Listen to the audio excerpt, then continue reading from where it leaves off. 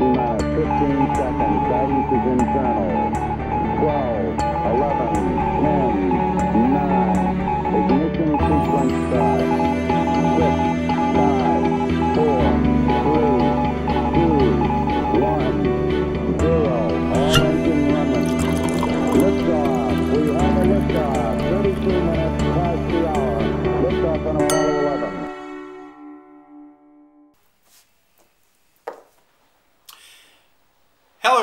To uh, Elite Wine TV. I am your host, Mark Fusco, here for another edition of the show. And uh, so we're doing another white wine here. So got this because, well, it looked kind of interesting and I'd never had it before. So, as most of the wines are. so anyway, this is the 2008 Finca Antigua uh, Viura from, uh, this is from Spain. And uh, it got it at Spec's for $8.75. That is the 5% off discounted price for paying with cash and or debit card. So, uh, a little rinse there from Monday's wine. All right, so um, what was I going to say? Oh, so Viura is um, this is 100% Viura, and it is uh, also known as Macabeo in Spain. So it's one of the one of the kind of well-known varietals from Spain, or used a lot. So let's check it out. It's, you know, fairly new vintage, 2008. So let's see what let's see what's going on.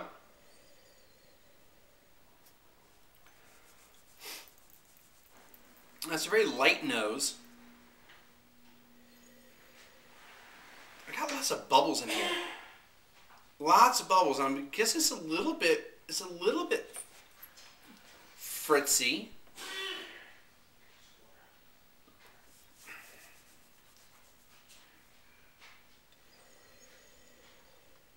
It's pleasant. It, it's it's not overpowering. Um, some light fruits, but nothing nothing really there. trying to really just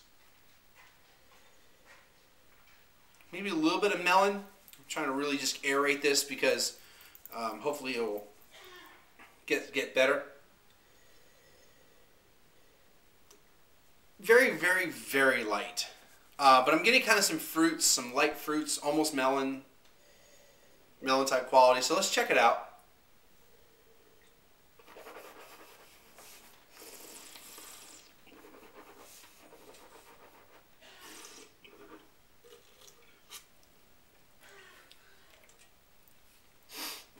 All right, so it's just like the nose, the palate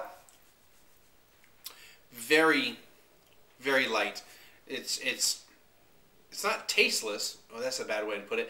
It it's it, it's not that it has no flavor.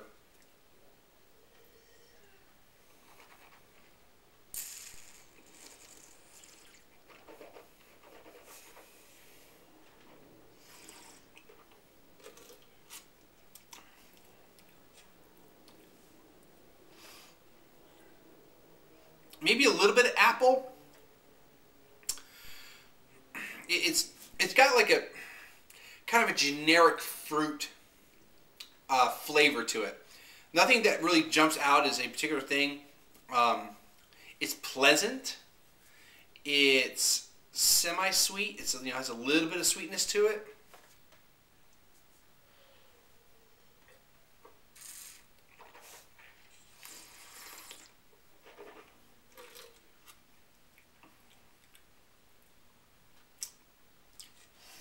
It's not really it doesn't really linger. So it's real quick. You, you get a little bit of a of a fruit almost like a a juicy fruit gum flavor. So it's, it's kind of sweet and it's got some fruit to it but uh, unlike juicy fruit gum it's not really intense. Like it, it's it's like a hint. It's like you know the, the gum is almost out of flavor and then you chew it a couple more times, and then just kind of like, uh, yeah, it's not much there. So, I mean, it's I'm sure it'd be like refreshing on a summer day. Um, so I could see drinking it like that, but other than that, I don't think it's really a spect. I don't think it's really anything much. It's not really. Um, it's not knocking my socks off. That's for sure. Just because I don't have any socks on. anyway, um, it's pleasant. I, I say 83. It's, it's nothing. I don't know. It seems like it's getting better over time.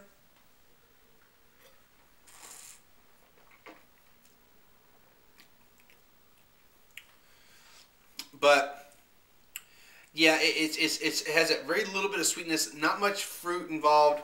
Um, I'm getting something else though now.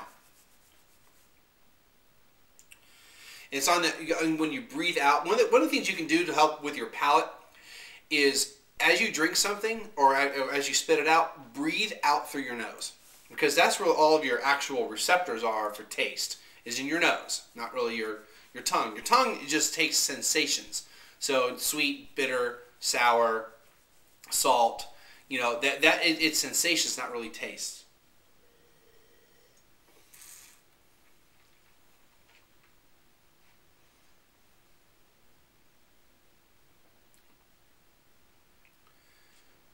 It's there's something in there that just made it a couple points better.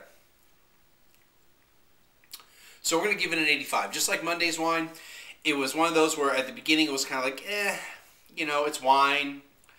But it got better over time. I, am giving it 85 just because there's that little hint that, that made it intriguing again. But it's still pretty thin. It's not, there's really almost, there's very little acid, if any, at all in the wine.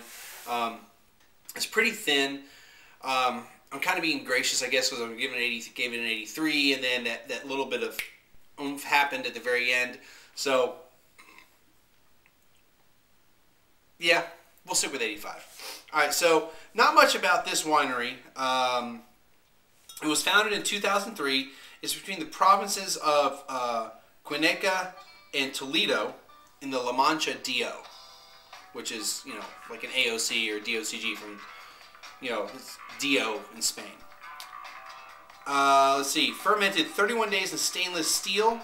Now here's something um, that that men just mentioned on the website. It says raised for five months on lees and then turned weekly, which, which is called batonnage. Um, I don't know why they call it raised for five months. Usually, the term rested on you know it's it's rest it's on lees or rests on lees. Uh, but five months and lees is just the um, uh, the dead yeast cells that collect to the bottom, collect to the bottom of a barrel, and what they do is they they'll they'll they'll stir the lees, they'll rotate the lees. Uh, so they said that every week they turn them to kind of mix the lees within the wine, and it's supposed to give it a little bit extra flavor to it, and that's probably what I'm getting at the very end.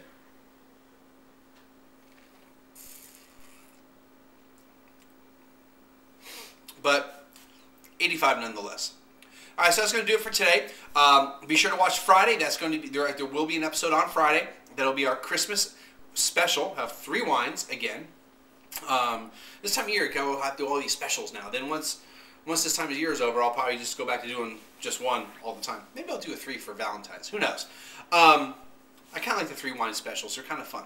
But um, as always, you know, uh, get all the links here. Let everybody know. Hope the player's doing well. Uh, I'm doing everything in one day, so between now and next Monday, when I do the next set of episodes, hopefully things with Viddler will be will have improved. Um, but otherwise, you know, the Blip TV player, um, I, I, I, like it, but uh, I like the other player better. I'm gonna stop harping on that. Hopefully, those guys at, the, at Viddler will will figure out why my stuff keeps getting screwed up, but nobody else's.